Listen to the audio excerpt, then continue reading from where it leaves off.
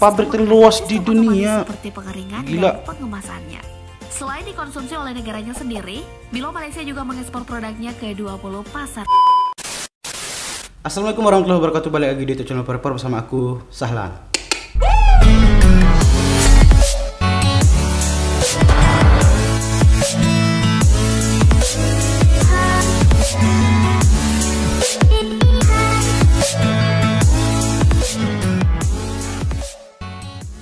Nah, saya apa kabar hari ini Indonesia, Malaysia, dan Sabang sampai Merauke Siapa pun kalian mau video ini, salam harap hal kalian sehat dan baik-baik saja tentunya Dan bagi kalian sakit, semoga diangkat penyakitnya dan digantikan dengan kesembuhan yang abadi geng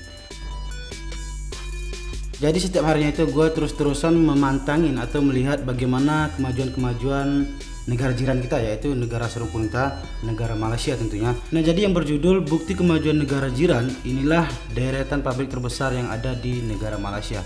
Nah jadi aku juga merasa penasaran apa-apa saja atau industri pabrik-pabrik apa saja yang terbesar di negara Malaysia gitu ya. Nah jadi so bagi kalian baru singgah channel ini jangan lupa klik tombol subscribe terlebih dahulu untuk membuat channel ini lebih bersemangat lagi gitu. nah seperti biasa kita hitung mundur 3, 2, 1 mulai. Boom.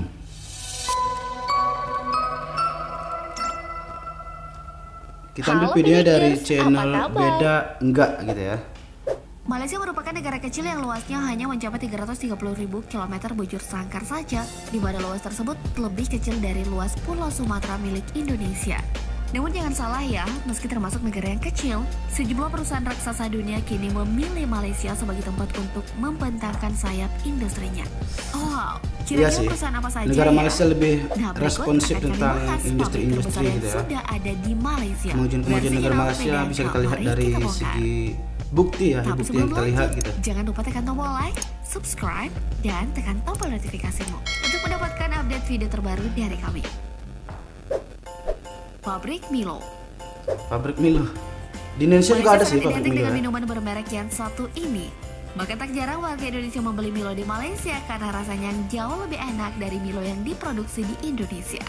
Ternyata di Oh. belakangan ini Nestle Malaysia telah menginvestasikan sekitar 304,6 miliar untuk 300 memperluas produksi Milo di pabrik yang berlokasi di Chembok Industrial Park Malaysia yang menjadikan pabrik tersebut menjadi pabrik Milo terbesar di dunia dengan kapasitas produksi mencapai 108 ribu ton per tahun dengan Wow, 900 karyawan. 8 ton Jumlah dengan karyawan yang 900 terbilang karyawan. sedikit untuk pabrik terluas di dunia ini Gila, men. disebabkan karena kebanyakan Pabrik terluas di dunia. seperti pengeringan Gila. dan pengemasannya.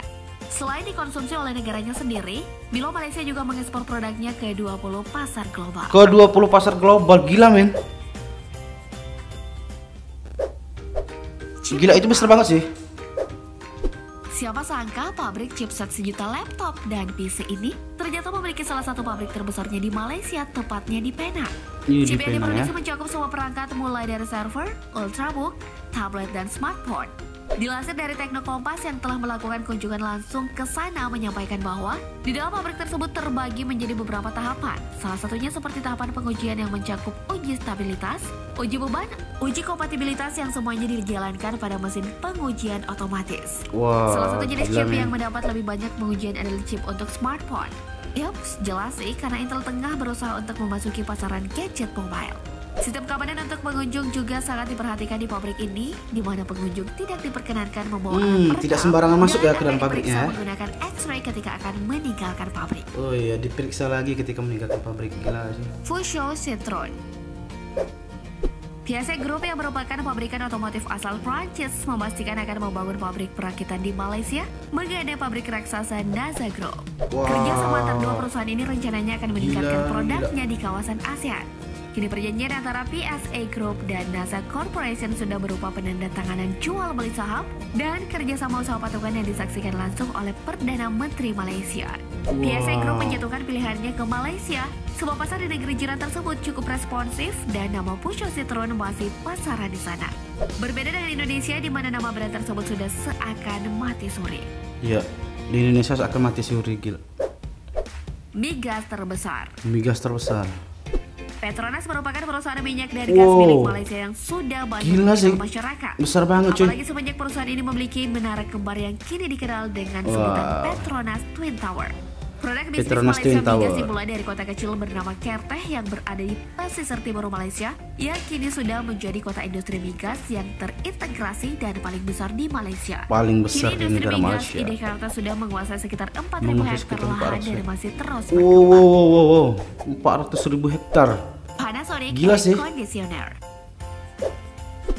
Panasonic sepertinya akan terus memaksimalkan usaha utamanya yaitu air conditioner atau AC yang kini telah dipasarkan di 120 negara di dunia.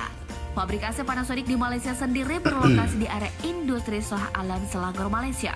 Tempat yang strategis karena hanya berjarak 30 menit dari Kuala Lumpur. Iya, Luas areanya 30 sendiri hampir mencapai Kuala 200 ribu meter persegi yang membuat pabrik ini menjadi pabrik AC Panasonic terbesar yang ada di Asia Pasifik. Di Asia Pasifik, itu pabrik geng. ini mampu Gila. memproduksi hingga 16.000 set Memproduksi AC 16.000 set per AC hari, per hari. atau sekitar Uh. 3 juta unit per tahun dengan 4.000 3 juta. karyawan. Wow, gila.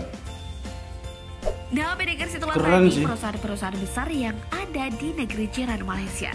Ternyata nggak nyangka ya negeri sekecil Malaysia memiliki pabrik-pabrik raksasa di dalamnya. Iya. Oke, sekian informasi Ya kali walaupun kecil tapi maju gitu ya, mempunyai pabrik-pabrik raksasa, industri-industri yang terbesar, gitu ya. subscribe-nya. Dan ingat aktifkan lonceng notifikasimu untuk mendapatkan update video terbaru dari kami. Beda enggak video nih. Dari sini beda enggak. Nah, oke geng, jadi eh, menitnya itu sekitar 5 menitan eh, 7 detik. Jadi video sudah selesai. Jadi menurut aku sih penilaian aku tentang negara Malaysia itu ya benar juga sih ya. Walaupun kecil tapi mempunyai industri dan kemajuan yang begitu besar gitu, yang begitu segit, yang begitu cepat gitu ya. Apalagi dengan Petronas ya, Petronas sih gua udah tahu lama. Tapi itu masih terpandang sampai keluar negeri, sampai dikenali dunia gitu ya. Jadi eh, menurut aku sih ya tentang Milo tadi juga ya Milo eh, di Indonesia juga ada sih tapi ya aku saranin buat teman-teman yang ada di eh, negara Malaysia harus mencoba juga Milo Indonesia. Dan orang-orang Indonesia teman-teman yang ada di Indonesia juga harus coba Milo yang diproduksi dari negara Malaysia gitu. Jadi saling mencoba bagaimana cita rasanya. Karena itu menurut gua sih berbeda banget gitu ya Nah jadi eh, setelah pandangan gua beberapa eh, pabrik, beberapa industri yang gua lihat, mungkin bisa jadi tidak semua eh, industri dan pabrik-pabrik disebutkan di sebuah video ini ya. Mungkin banyak juga pabrik-pabrik yang eh, gua belum ketahui atau eh, dengan beda channel ini tidak membahasnya gitu. Mungkin ada yang eh, pencetak Al-Qur'an mungkin atau pencetak eh, lain dan sebagainya gitu. Nah, so, oke jadi eh, bagaimana tanggapan kalian tentang video ini? Silahkan komentar di bawah. Jadi next video apa lagi juga silahkan komentar di bawah. Jangan lupa juga follow Instagram salah di sini. So, jadi saya salah harga di sini untuk mendukung diri. Bila kurang salah minta maaf. Wassalamualaikum warahmatullahi wabarakatuh. See you di next video. Bye bye.